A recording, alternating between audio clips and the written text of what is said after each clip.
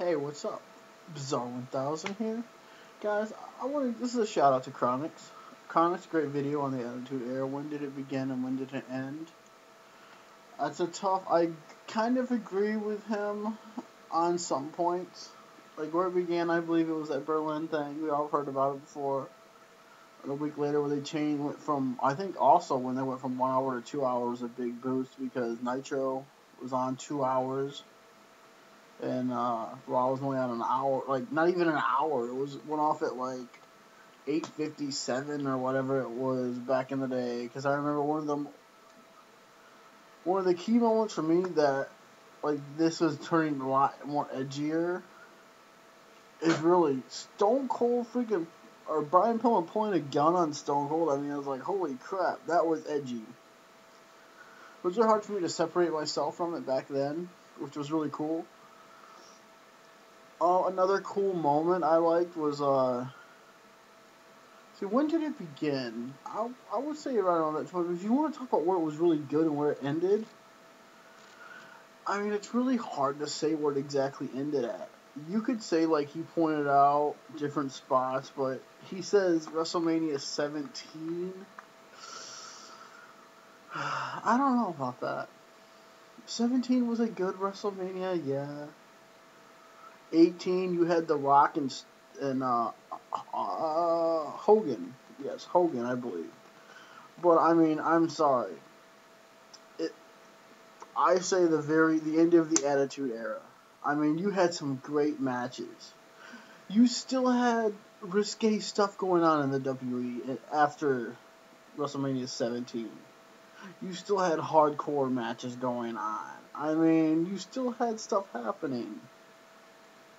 I think really when the Attitude Era ended is really, it really officially ended after WrestleMania 19. If you, that's when a lot of fans like me say WrestleMania 19 is when you had Brock Lesnar versus Kurt Angle, Triple H, Booker T.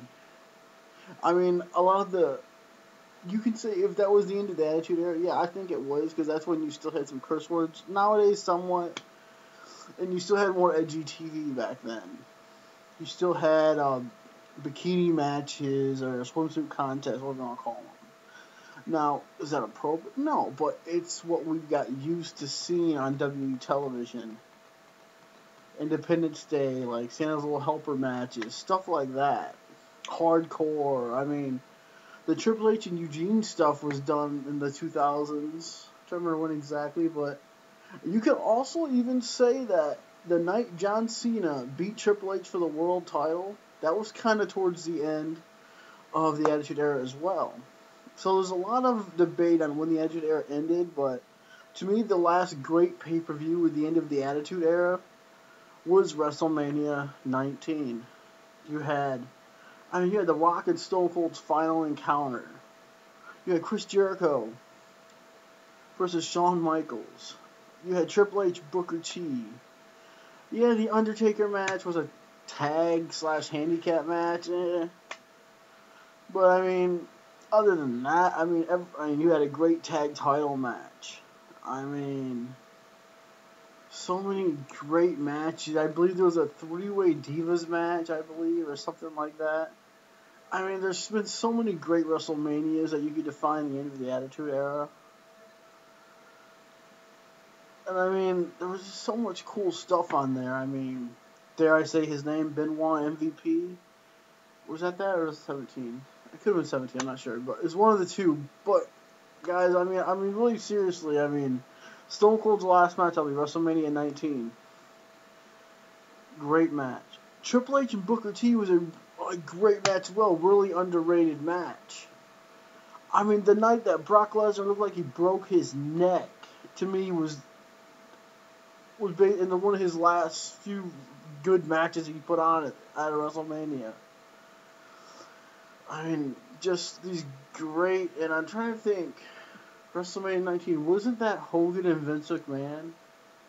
I mean, come on, you got Hulk Hogan versus Vince McMahon. Hulk Hogan and Vince McMahon in a street fight? I mean, guys, I mean, come on. And we all remember the infamous where the street fight with Like, and you can also say the invasion when Vince McMahon or when Vince McMahon and Shane, the WWE bought WCW. Was that the end of the Attitude Era? Possibly. But I don't really say it was because they were still attitude. They were still having the attitude in the Attitude Era. They still had a little bit of attitude. Even when Stone Cold joined the Alliance, when they did the whole invasion thing, it was still Attitude Era. They were still doing bra and panty matches. I look at the end of the Attitude Era when it stopped being when the storyline it seemed like the storylines were still really good even towards the end of the alliance when Stone Cold was a heel. Right before Stone Cold left, I mean, they were just running out of spots for people, honestly, and it was really funny, I think too, because mean, there's so many great spots. And it's just too bad that they just poof. I mean, back then, I mean, you had Trish Stratus in the Divas division was really rocking. The tag division was freaking awesome. I mean, you had you had two brands of tag titles. You had the World Tag titles, and you had the you had the WE Tag titles, and you had the World Tag titles. It's kind of weird. Like the WE Championship was always on SmackDown because it was kind of like because back then I even think when Bischoff was there. I mean, come on, how could you say when Bischoff was in charge that was the Attitude Era?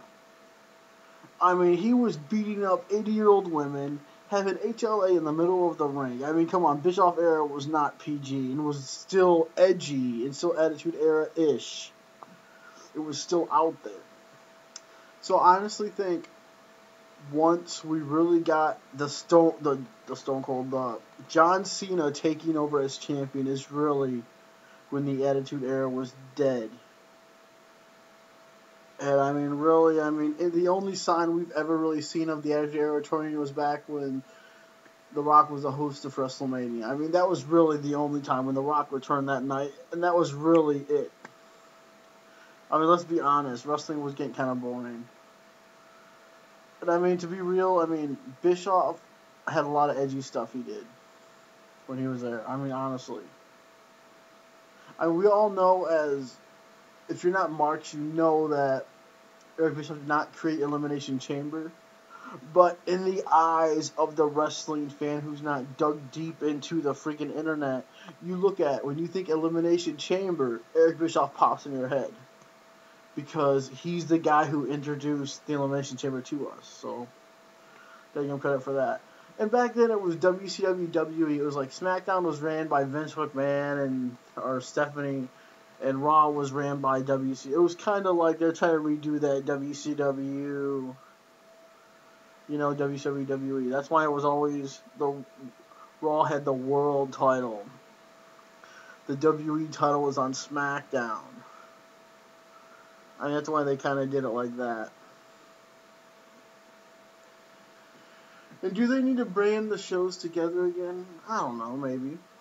No, because I don't think they do, because then that would kill everything right now. But do I think the Attitude Era ended at WrestleMania 17? No, I don't. I think it's more close to WrestleMania 19, hell, even WrestleMania 20 or 21. Because once it went PG. Now, do we want to look at that demographic? When did it go PG? We could look at that. That's just my opinion on that, guys. Guys, I hope the video isn't too long because I'm fed up. I might redo it. Alright, have a good one, guys.